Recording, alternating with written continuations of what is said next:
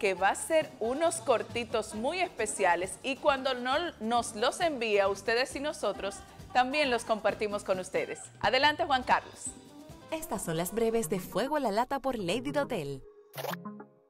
La policía apresó a tres hombres acusados de asaltar a una hija del periodista Geomar García en un hecho ocurrido la semana pasada en Santo Domingo Este, despojándola de 35 mil pesos, un celular y cuatro tarjetas de diferentes entidades financieras.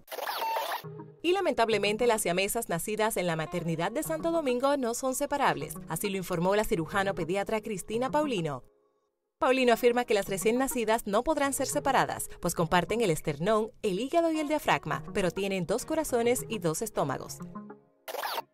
Sobre la República Dominicana permanece un escenario de bastante humedad e inestabilidad debido a la continuidad de la vaguada que perturba las condiciones locales. En tal sentido, se estarán presentando desde las primeras horas de la mañana algunos chubascos aislados sobre localidades de las regiones noreste, sureste, suroeste y el Gran Santo Domingo. Amplía estas y otras informaciones en fuegolalata.do.